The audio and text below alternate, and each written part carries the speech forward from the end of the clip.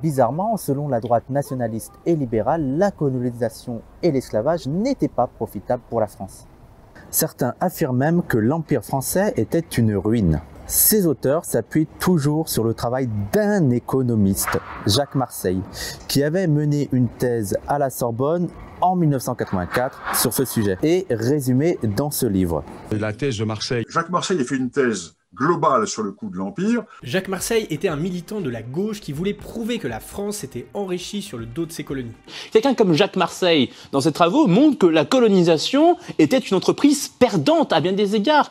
Maintenant, voyons ce que dit vraiment Jacques Marseille. Le premier fait qui mérite d'être souligné est la bonne affaire que représente l'investissement colonial les taux de profit réalisés par les entreprises exploitant aux colonies se révèlent bien supérieurs à ceux des sociétés exerçant leur activité en métropole ou à l'étranger. Peu de sociétés françaises versaient à leurs actionnaires de tels dividendes. Peu de territoires présentaient de telles conditions de sécurité. Le marché colonial jouait déjà, en 1914, un rôle fondamental dans la croissance économique de la France. L'Empire se place au tout premier rang des champs d'expansion du capitalisme français.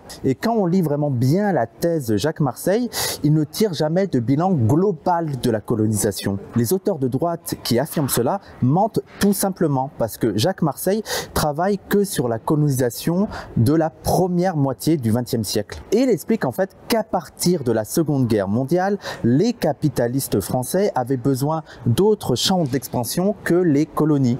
Mais on va revenir sur ça plus en détail plus tard.